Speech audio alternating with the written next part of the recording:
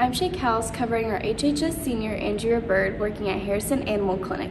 Let's take a closer look at her journey to becoming a veterinarian. I've been in the business for a touch over two years, but I started here as a high school student as a junior in 2006. Um, so we've always had some high school help around. The plan right now is to continue working at the clinic until I go to college in August, um, and I'll be right at my two-year mark. I'll be leaving to go to college. I am planning to go to the University of Arkansas and finishing my undergraduate degree in poultry science, and then from there, the college I'm looking at for my veterinarian degree is Oklahoma State University. I would love to come back here and work under Dr. Jones as a veterinarian. Um, it should be about six to eight years before I am a veterinarian so who knows the opportunities that are going to open up for me between now and then. But as of now, I plan to come back and work under him. Probably works too much is probably the honest answer. She was persistent, uh, works a ton, always does what, what we need to. Really good worker.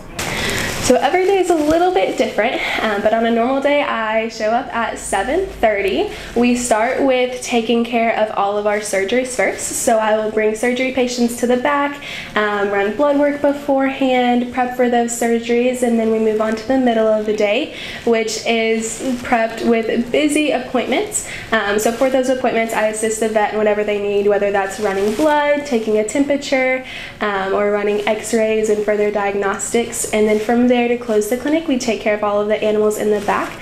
Um, so that can be anywhere from like setting IVs, uh, running further diagnostics, or medicating and treating those animals that are sick in the hospital.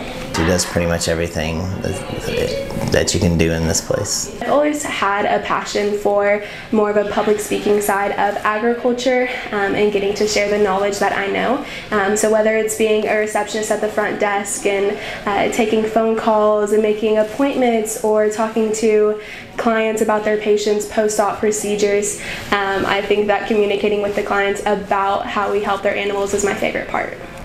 So when I first got hired here, um, I worked part-time. That was only for about a month and a half. So I worked from 1 o'clock to close, which is about 5.30 or 6. Um, and then after a month in or so, I switched to full-time and switched to online classes through school. Um, and then so for about a year I've been working here. I've worked full-time uh, Monday through Friday, 7.30 to 5.30, and then every other weekend. This semester I've taken a break off of work just a little bit to focus on school. Um, so Mondays And Wednesdays I come in at around 10:30 or 11, but the rest of the week is normal.